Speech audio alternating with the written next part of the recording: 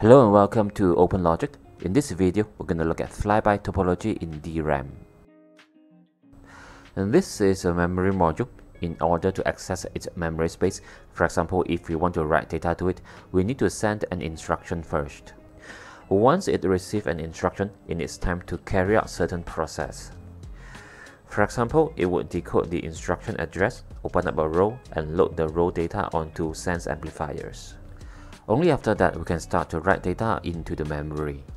Knowing the timing on how the memory processes the instruction is very important because if we provide the data too soon, the memory will miss the data, or if we provide the data too late, then the memory is operating at a lower transfer rate. Once the memory is ready, we can start to send data.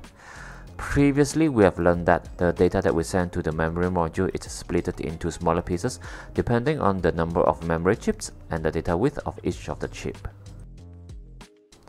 Now, following the same logic, the instruction needs to be distributed to each of the memory chip as well. And this generally has a problem because every memory chip could receive the instruction at a different timing. For the technology prior to DDR3, Instruction is routed to memory chips using a topology known as T-topology. And the idea is that an instruction is duplicated through the splitting of the route and every route has an equal distance. And because of that, an instruction can reach to every memory chip pretty much at the same time. Now, this T-topology is not foolproof. For one, it is not easy to create an equal distance for every route. And it becomes more challenging as transfer rate requirement is getting higher, where even the slightest delay is critical.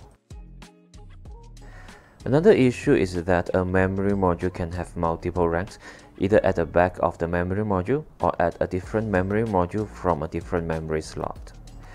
Since every rank share the same channel, they all will receive the same instruction even though the instruction is meant for only one of the rank. For the chosen rank, the instruction is loaded into the memory chips. For the other ranks, the instruction will arrive at the memory chip and be terminated there. This termination will cause the signal to be reflected back. Now this reflection can cause signal integrity issue because the reflected signal can interfere with incoming instruction. Because of all these issues, starting from DDR3 onwards, a different topology is used. It is known as flyby topology. This is generally how it looks like. As you can see, the routing is simpler. At the end of the connection, there is one termination there where it has a load with a matching impedance of the circuitry. So if an instruction arrives to the memory chips where it is not meant for this rank, the signal will be absorbed by the load at this termination point here.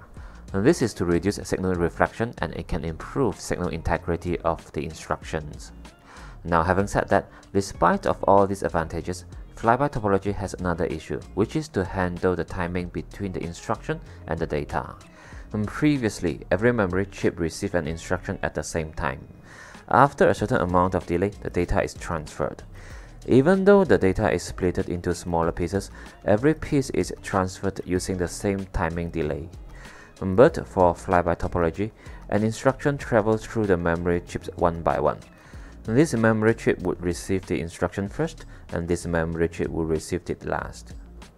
And because of that, we need to send the data piece by piece at a different timing delay. This seems to add complication, but generally, signal integrity has a higher priority compared to sequencing of the data. So now, for memory controller, when it sends an instruction to the memory module, it needs to know the timing of the instruction received for every memory chip.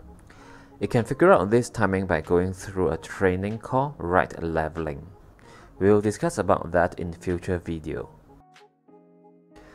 Well, that's it for this time. Thanks for watching. I hope you find the video helpful.